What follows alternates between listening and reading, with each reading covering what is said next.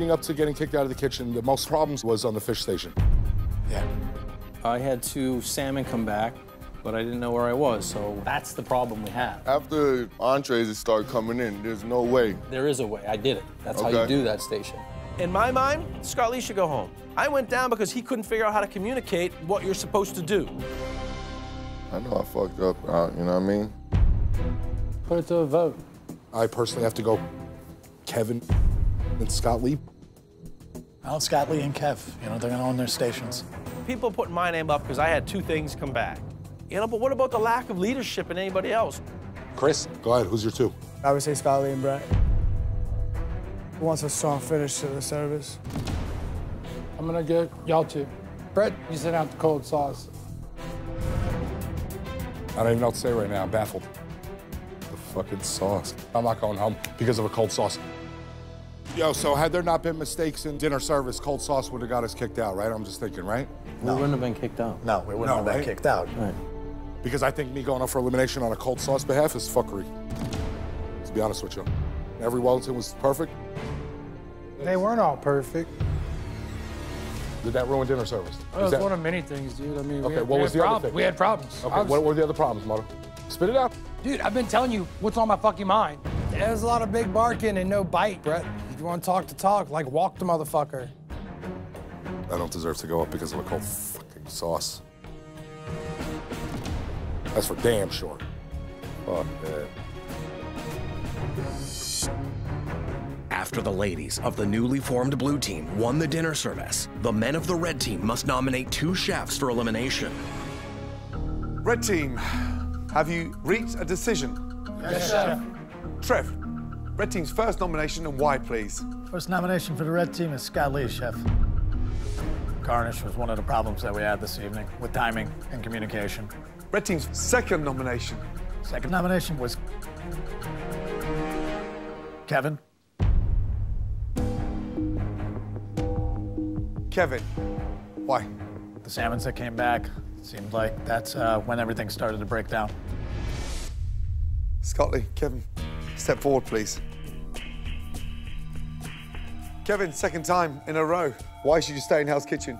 I got fight in me, chef, and you know that. I'm not always yelling and screaming, but I'm a very confident person.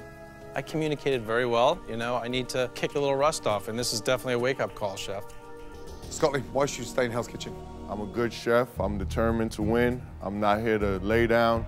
Yes, I could have communicated better, but I didn't go down hard like how the fish station went down tonight. Fish station didn't go down hard. I had two friggin' things, you, You, know? didn't give me definite times. One Okay, minute is eight okay. minutes, then going back, oh, I need Okay. eight more minutes. Like, come on. Garnish drives a ship. Everybody knows that. Everyone's always known that. You are the one that communicates. You can't say, I can't do it. The fuck, you gonna give up?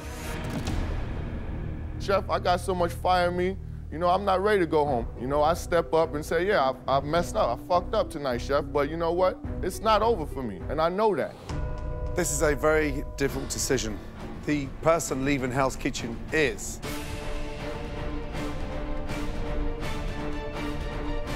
Kevin. Give me your jackets.